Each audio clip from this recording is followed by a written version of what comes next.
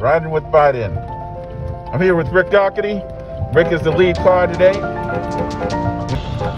Yes. And there's a check cash in place. and that should be.